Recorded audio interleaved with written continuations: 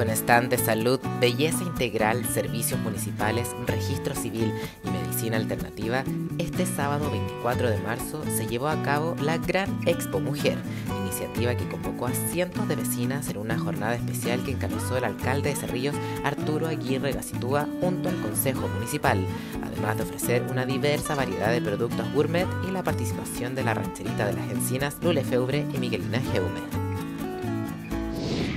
pero espléndida para todas las mujeres. Mira, vengo recién llegando, pero ya puedo apreciar lo hermoso que es y lo interesado que estamos todas las mujeres en todas las actividades que están presentando hoy. Se lo agradezco a la municipalidad, se lo agradezco al alcalde por esta hermosa iniciativa. Me parece buena porque no siempre se hace y le dan la oportunidad a la gente de hacerse cosas así. Y eso es bueno para las mujeres también, que de repente uno no puede hacerlo, y es bueno lo que están haciendo. Y eso agradecerlo también al alcalde. Genial que haga algo el alcalde con las mujeres para distraerse, ver las cosas. También tenemos derechos como mujer también, pues trabajamos, estamos todo el día ahí dándole la semana. También tenemos un derecho de descansar. Se le agradece al alcalde de Cerrillo y muy buen alcalde. Así que besito alcalde.